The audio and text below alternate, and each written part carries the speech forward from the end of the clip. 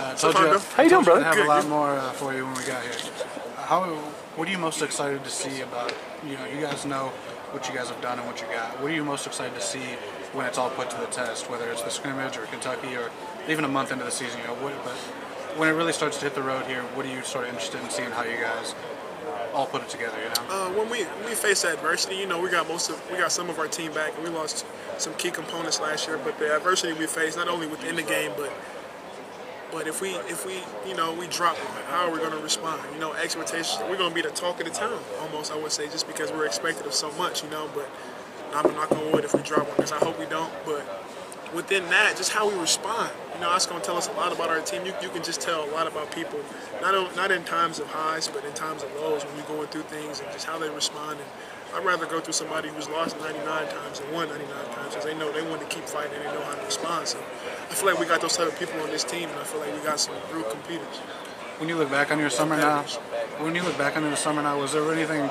I mean, did the success you had last year was that sort of able to fuel you and take things to a different level for you, just in terms of um, effort, time in this gym here? I mean, you know, it's it's one thing to just be like, all right, this is what I got to do this summer, but you really ended last year on a high note. Did that sort of push you right into a summer where you're like, oh, I'm going to do more than I ever have? You know? You know, realizing that, that it was a tough stretch for me when I when I got that starting job and I, and I continued to go through the season. It was a tough stretch for me, but just seeing myself, you know, put the ball in the basket, play defense, just have fun with it again. It just brought me back to the light of his, the fun that I used to have before. You know, I wouldn't say it was a time that I, I was depressed or I, or I just hated basketball, but we all can be honest. It was a rough stretch. It was a rough time for me, and it, my parents even saw it in me like like I wasn't having fun. You know, I didn't and I have to realize that just putting the ball in the basket does not create all fun for me. You know, just keeping it and just realizing it's a game at the end of the day. That's what just I would say helped me the most in my mind and just releasing pressure off of me. you guys seem, uh, you know, you guys seem really close as a team, and it's like throughout the ranks. Like I know Cassius was always kicking with you guys as freshmen a bunch last year, and uh, you know, there's a bunch of it's just close knit throughout the roster. Do you think that uh, gives you guys like a, a certain edge, or just is that a good combination to have when you have these expectations? Absolutely. We- you know, we- do you think this team is mentally sort of fit to handle these these high expectations, possible bumps in the road, and you know, raising everything back up?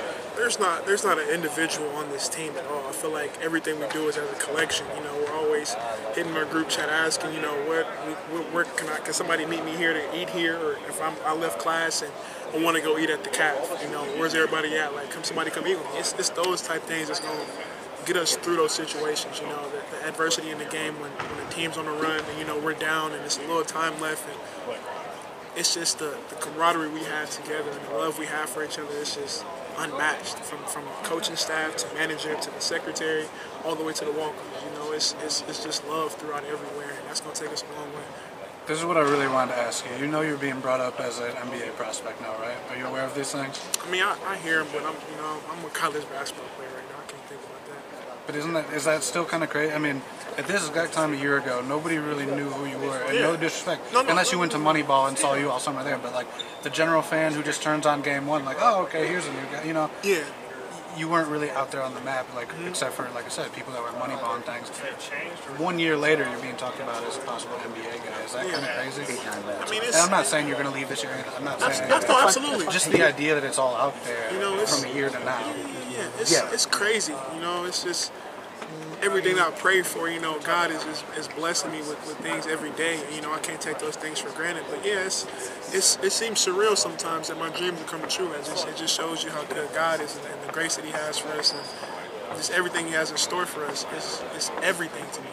You know, I wouldn't be here without Him and just knowing that that he's always going to be there for me and knowing that he's not going to put me in any place I'm not prepared for that he wants me to be that's where my that's where my, my peace lays right there I mean I can't put pressure on like oh I got to get out of here or oh I need to stay here to get no it's I'm on his time you know I'm not on anybody, anybody else's time I just got to go at his pace and his patience and just focus on just the day and never tomorrow part of that's probably rewarding though too, to, like you said, to have that. I mean, you grew up watching these teams, seeing these logos. You always want your name to be associated with that, and, and in, Absolutely. in a way, it kind of is. I mean, that, is that part of this rewarding? and you you can get lost in that stuff as a player at my age, as a sophomore, even as a freshman. It's just as somebody's supposed to be one and done. You can get lost in all that stuff. Like I gotta get out of here. I, I gotta do like you can get so caught up in the years before and, and, and not years, but years after and, and down the line that you just lose sight of what's in front of you. and, and you just and you put so much pressure on yourself that you can't even focus.